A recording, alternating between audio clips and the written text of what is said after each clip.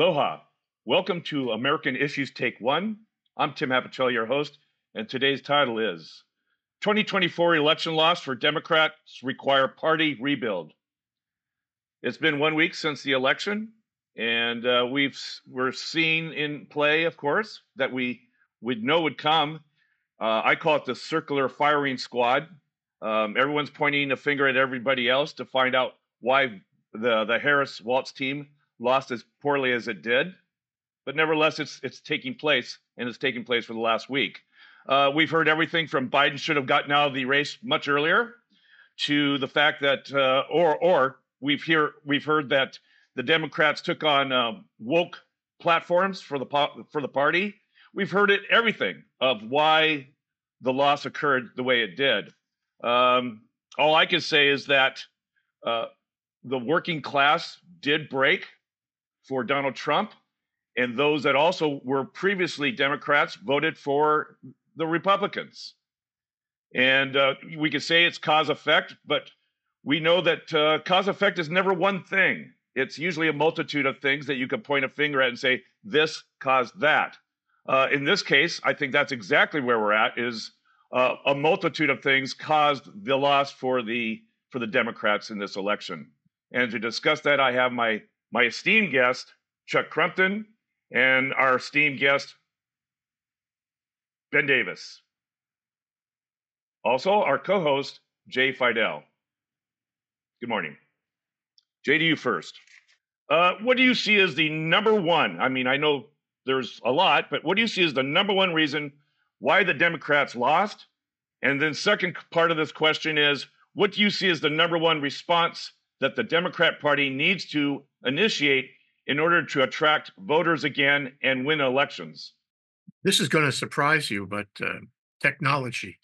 I've been thinking about it. And I think the Republicans uh, and their friends in Moscow um, got ahead of the Democrats in terms of technology because people are, you know, they're carte blanche. They, they, they're not necessarily educated uh, on either side of the aisle. Um, and you have to try to get into their minds.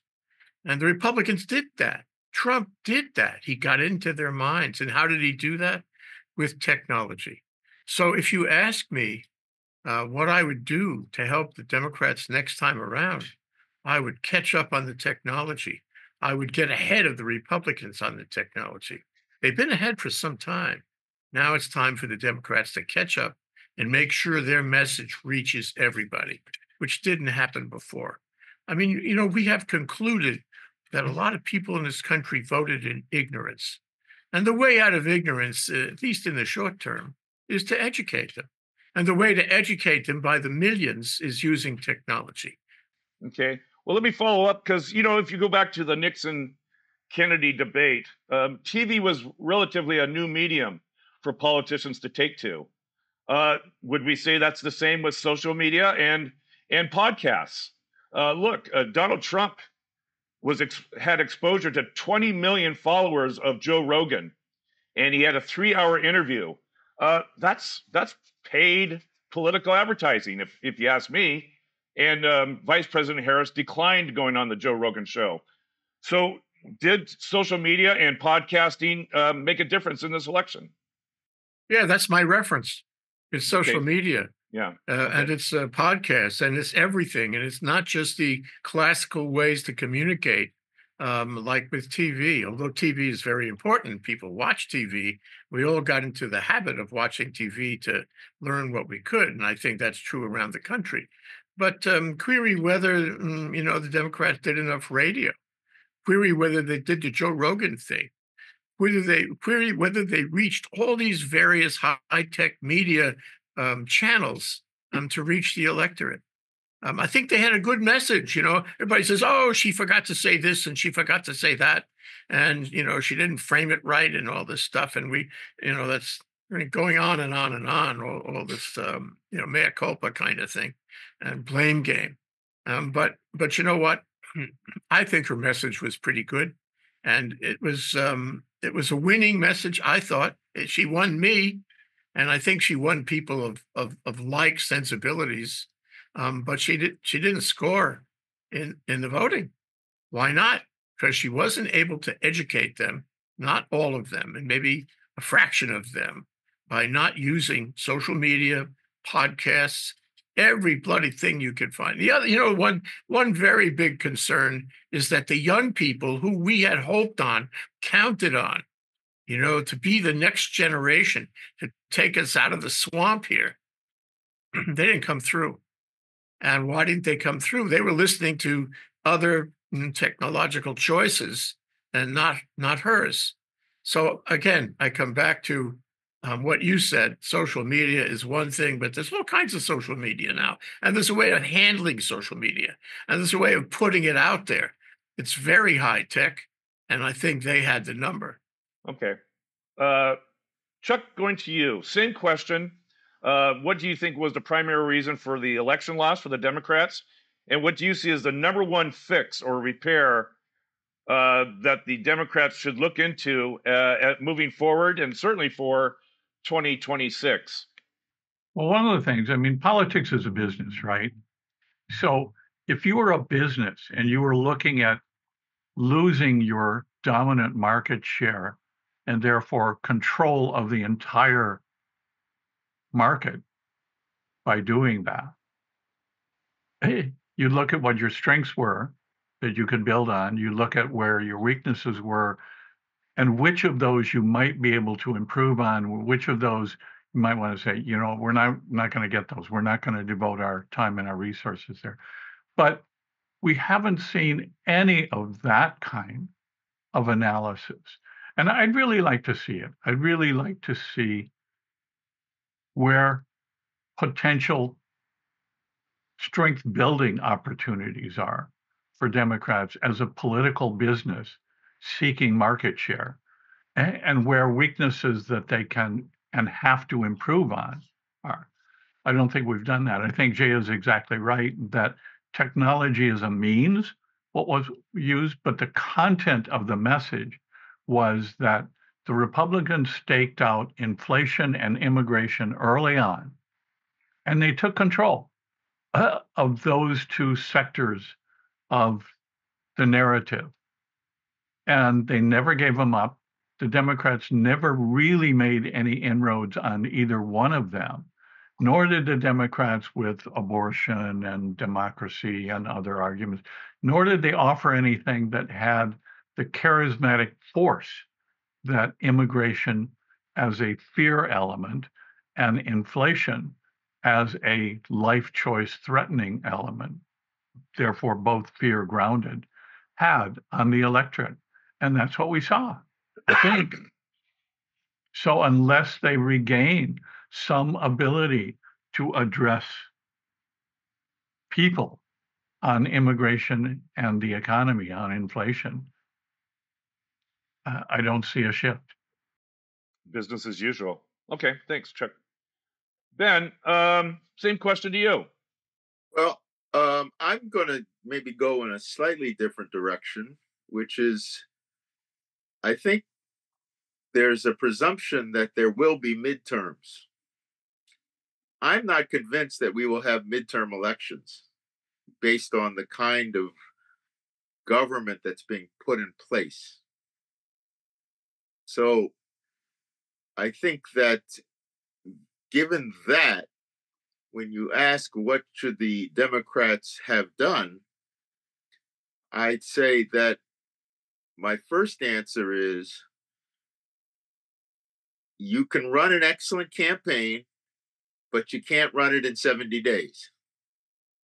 Uh, you you really need the the the long uh, runway in the United States for people to get comfortable with you, and that ended up being one of the difficulties uh, that were, I think, is the heart of it. Um, I'm not.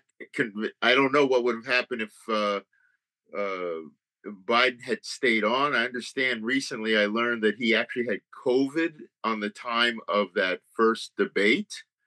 Uh, and, you know, so that it was so horrible. Well, yeah, I had COVID and I felt pretty horrible at my at my age with it. Um, and, you know, whether he could have possibly kept going, I don't know. But uh, when you switch horses like that with that short period of time, I think it's very difficult.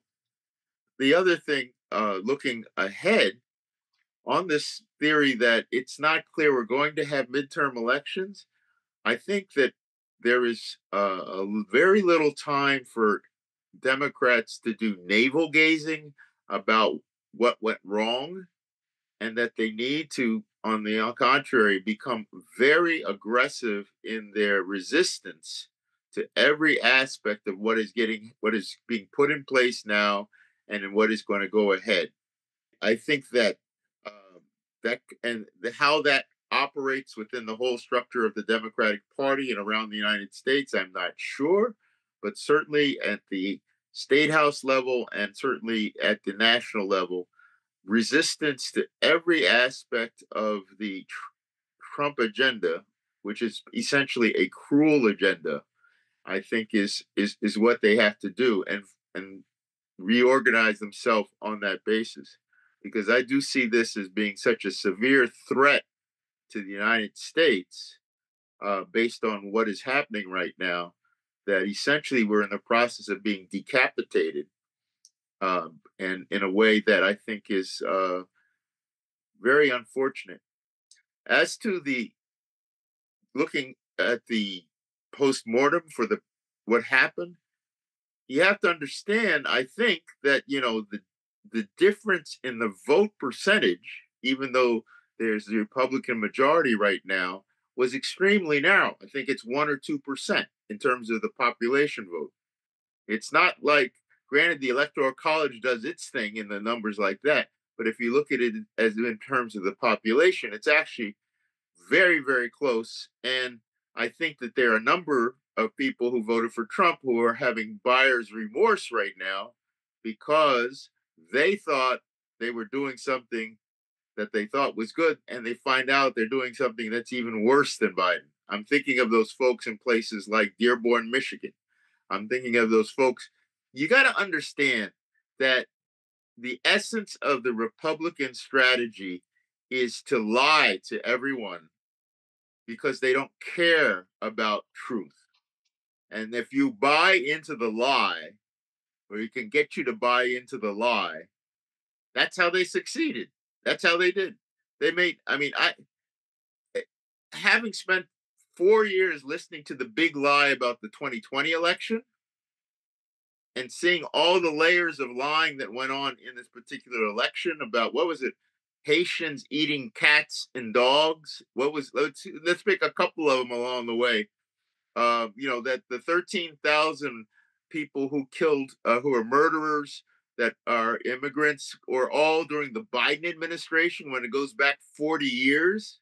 All those kinds of lies were used and effectively done to do what? To work on the fear, the fear emotion in people, right? And the fear emotion is a strong emotion. And so you have to counter that fear emotion in some way that is meaningful to people. Uh, and quite honestly, I think that the way you counter it is by resisting the nonsense uh, and and and really having the courage to not bend the knee in front of all this that's being pushed at us to just be compliant with what's going on. Let me interrupt right there, if yeah. I may. I mean, didn't the Harris Walz team do their best to call out the lies and and and tell the American public, hey, come on, these have been lies for years. And didn't they try to do that? To me, yes. But again, they had a short runway, 70, 78 days, while there's been three and a half, three and a half to three and three quarters years of Trump, because he started running from the day after the election. Um, uh, that happened in 2020, I believe um, to to to put the lies out there.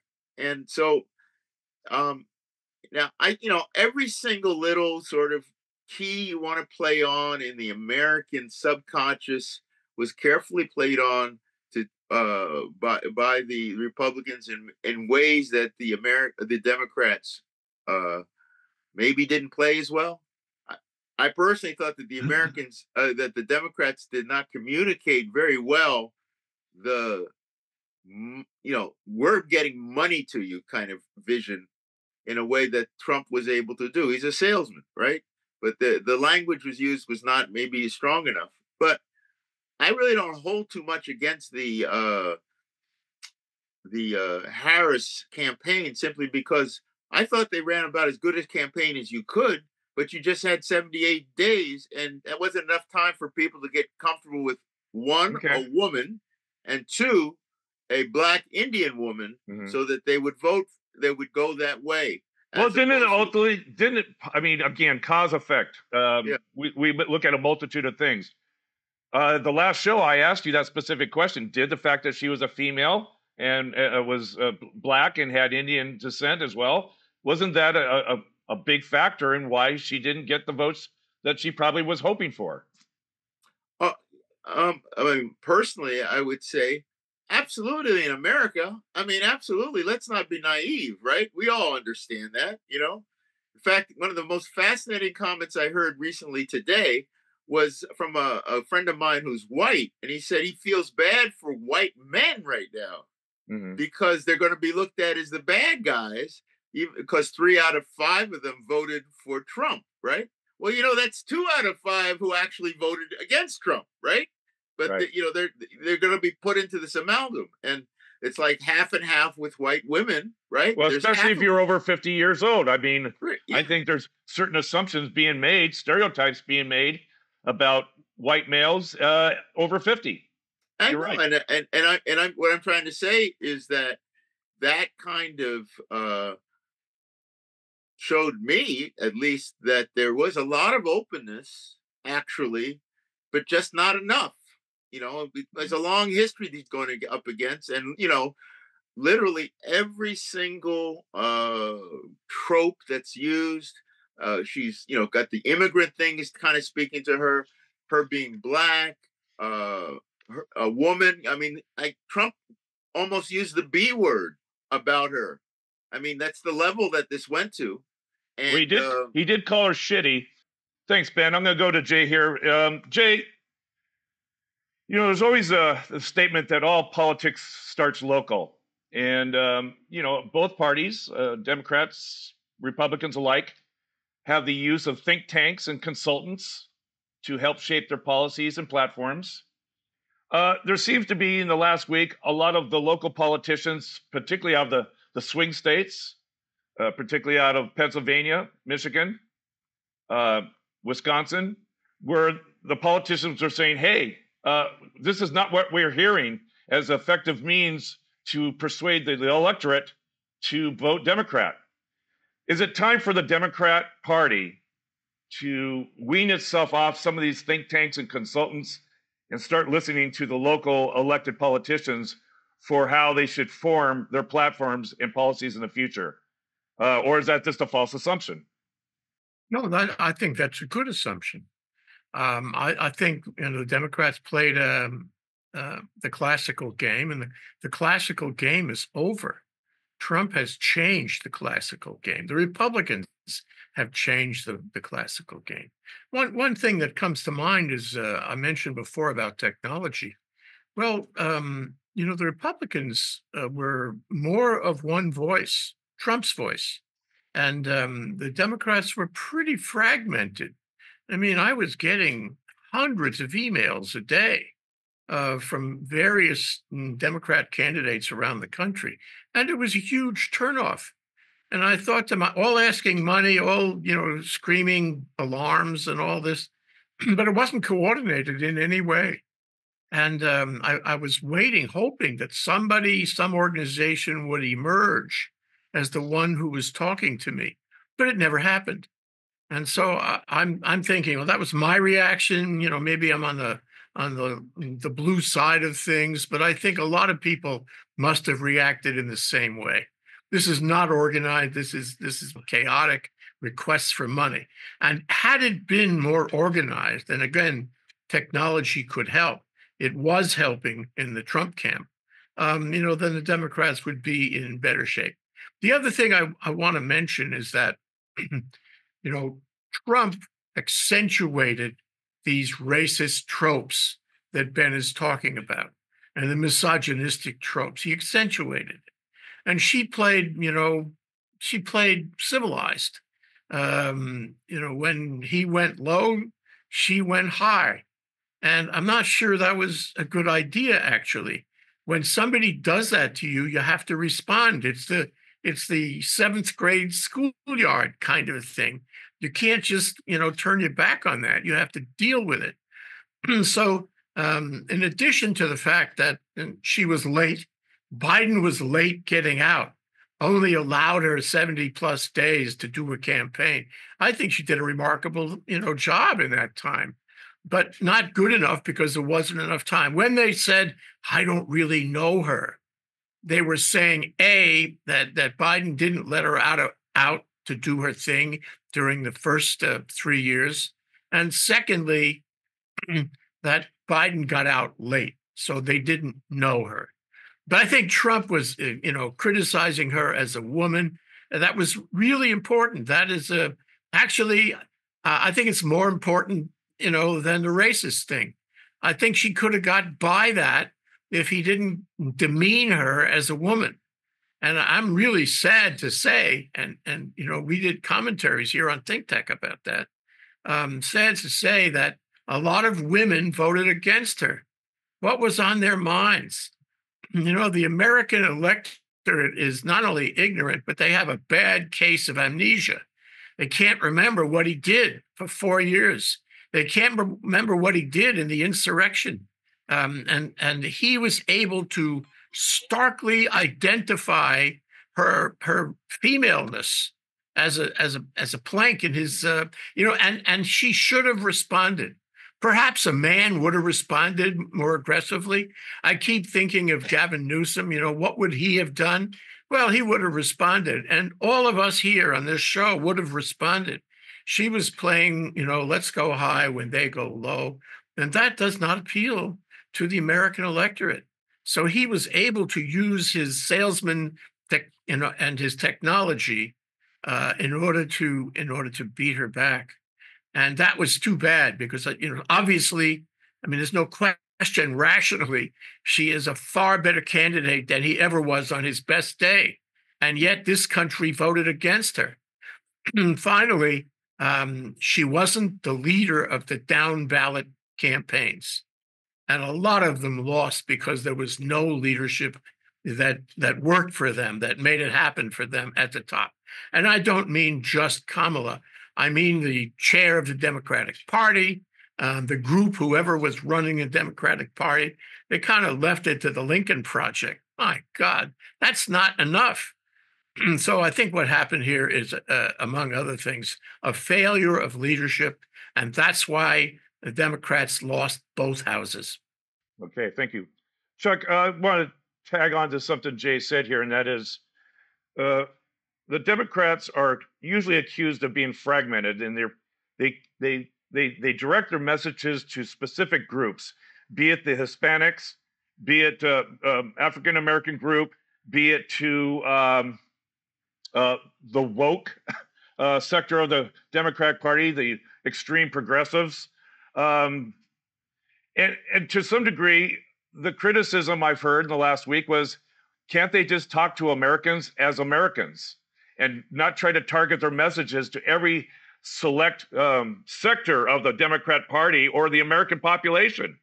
Do you think there's any merit with that criticism of the Democrat Party that um, they tried to segment the market and target their messages to the market, and hopefully they don't offend any part of those markets? And maybe they just should think about um, the working class, the middle class, those that are having a, you know a tough time with economics at the and how to figure out how to pay their bills at the kitchen table. Your thoughts? Well, I think it's a good insight, Tim, and a good question because if you're going to be a Democratic Party representing and advocating for democracy, hey, you're going to be open to all planks, all perspectives. It's just inherent in your approach. You can't wall them out because that's who you are. Eh, but there's a couple of things going on here that the media haven't picked up on. One, neuroscience tells us a lot about exactly what Jay was talking about is the Republicans use technology to do what's called hijacking the amygdala, the dinosaur brain, the reptile brain, whatever you want to call it, the fear oriented brain, the one that the thinking fast brain. and the Democrats never managed to get connected to the thinking more deliberatively brain. There is, and a friend pointed this out, there is an area which the Republicans have neglected that the Democrats may be able, if they galvanize, to bring about some change for the future in. And that is to focus on educating children to think expansively, to think critically, to think evaluatively, to take in information and to weigh it as objectively as possible. We need to really, really focus on teaching our children to do that. If uh, Donald Trump demolishes the Department of Education? Yeah, because it, that's a community thing. That happens where the 60s movements for civil rights and peace came from. They came from the communities, they came from the schools, the faculty, the parents, the rest of the communities came in and joined those forces, those movements, because they were consistent with their values as people, as parts of those communities. So, what the Democrats have missed is if you really want to connect with the community, you have to be part of that community and you have to be part of its learning process. You can't be teaching, you have to be sharing the learning so that it can move forward to see and make better choices. Okay, thank you, Chuck. Uh, we're almost out of time, so I think this is a good time to ask for final comments. Uh, ben, let's start with you and your final thoughts. Uh, my th- final thoughts are that uh, this is not an either or, it's a both and kind of situation. I mean, the longer term type things that have been described with regards to technology as well as uh, stopping the dumbing down of Americans um, certainly, I think, is important. Um, I do, however, have the view that we are in a time where resistance is crucial against a project that is probably trying to take us back 100 years. Carl Bernstein said that essentially what's going on right now is to move back to before FDR. That's and they're serious about moving back before FDR. So if you remember the America of the 1920s, which none of us do, but we do remember the Depression, that's what they want. That and that if that is something you want, fine. But I don't believe that the uh, Americans who voted the way they did actually want that or understood that at the time. So my thing is that the Democrats should do some navel gazing, but mainly they should be resisting everywhere they can whatever is coming out of this administration.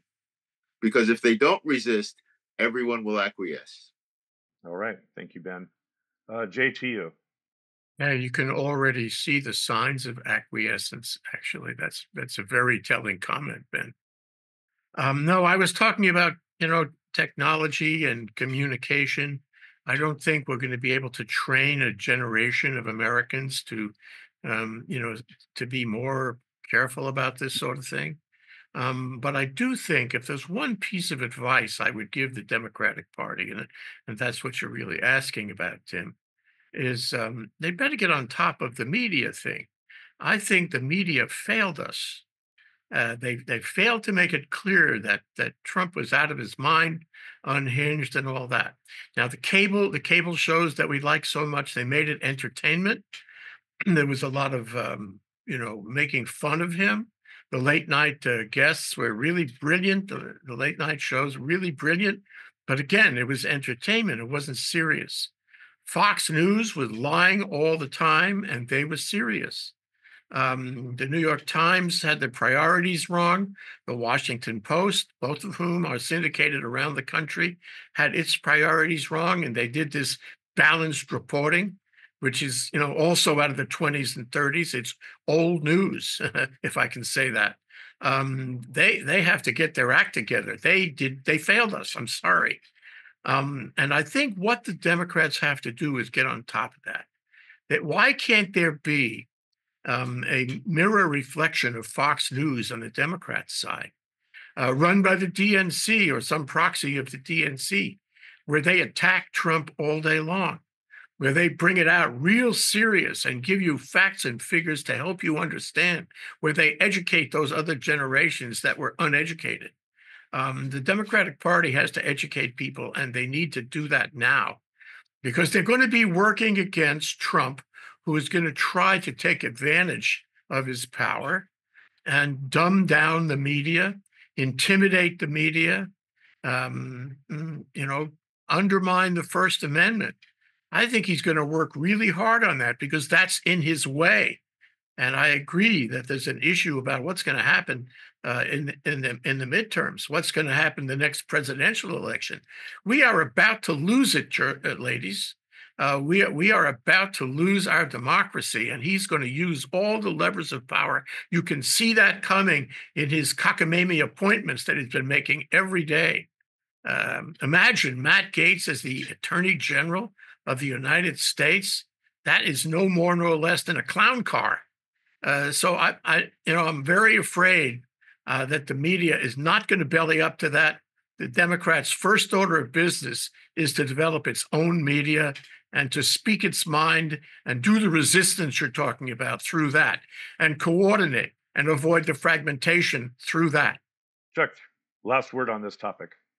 You know, I come back to there's a wonderful civil rights era song from 60 plus years ago called Sweet Honey in the Rock.